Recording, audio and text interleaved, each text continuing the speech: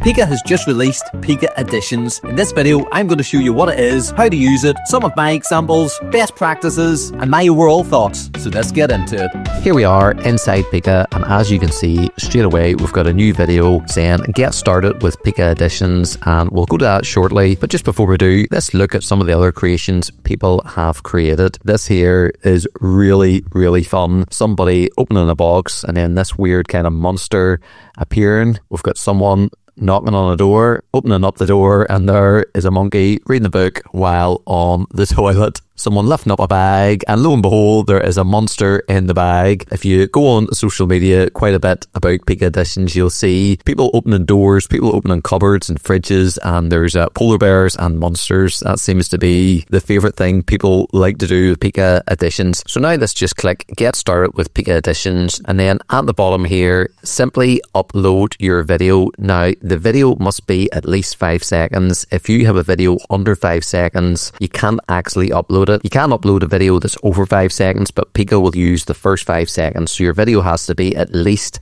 five seconds long. Here is my son on a sleigh on a snowy day, and then it just pans up, and there's my wife and other son in the background. And then what do I want to see in this picture. I want to see a stormtrooper, so I'm putting in a stormtrooper from Star Wars. It's automatically added this description at the bottom. Add this to my video based on the current actions in the original video. Come up with a natural and engaging way to fit the object into the video. So I'm simply just going to click the star button and this is now going to generate my video. And it's saying here, generations usually take a few minutes. We're so excited for you. And while that's generating, you can actually see I have generated two videos like this before. And let's just look at this video. So you can see the stormtrooper walking. And as it pans up, it keeps the tracking of the stormtrooper really, really well. That really looks as if the stormtrooper is actually there. On this occasion, I added add the stormtrooper walking behind the sleigh to make it fit into the video. And then before that,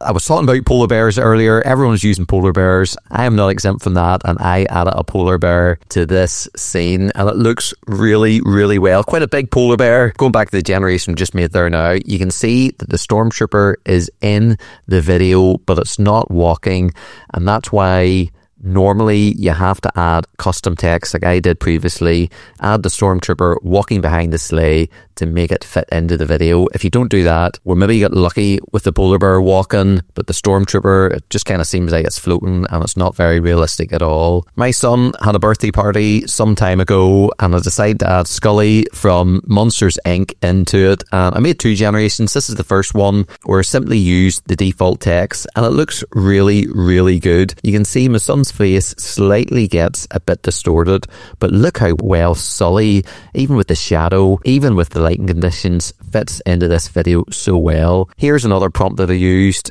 And in this one, I said, add this to my video based on the current actions in the original video. Have the monster naturally walk in and fit into this video. As you can see, I think this looks even better.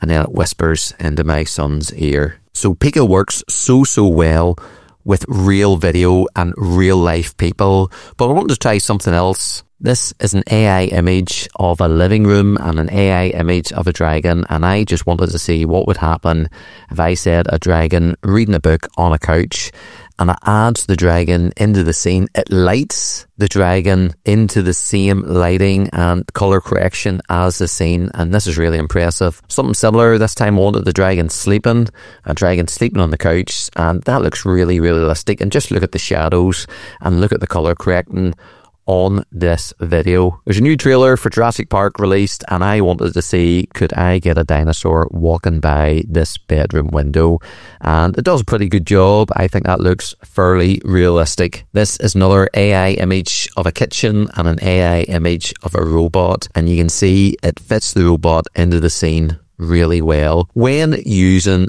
Pikadditions, it's best to add the object that you're bringing in on a white background. Pika seems to like it if it's on a white background. They can still do it on different colored backgrounds, but if you can use a white background, that is even better. Is Pikadditions perfect? It's definitely not. As you can see from my tests, there is a bit of trial and error. Normally, you need several generations. I've generated quite a lot with Pikadditions. Some of these videos I've generated maybe three or four times, and the ones I don't like, I just delete. But it does take sometimes a few generations. Could you use the quality on an actual production? Not at the minute. You can see here, my son, this is before and this is after, and you can see his face gets a little bit warped, a little bit mushed and blurred. That said, I would maybe bring this into After Effects and mask out his face put in the original face and you could use it in time. I'm sure Pika will fix this, but at the minute it wouldn't be ready as a commercial tool. But for adding things together very quickly, at the minute you can only add one item per video. So just one video and one item is the limit at the minute. And it's a lot of fun. I have had a lot of fun and I've got a few ideas of what I would like to do with Pikadditions in the future. I have been involved in visual effects for over 20 years and something like this really, really excites me. To get a polar bear walking behind my son, to get the tracking, to get a color corrected, to get a, a realistic shadow, it would take a long time. Pika has done a superb, superb job in under a minute work. So, from a visual effects point of view, it's very exciting. The future for visual effects and AI. We're not there yet. We're getting close. I'm going to do more experiments, and there might be more videos on Pika coming soon. Let me know in the comments below what do you think of Pikadditions. Will you be using it? Is there anything else you want to see from it? Thanks for watching. Hope you have a great day, and I'll see you in the next video.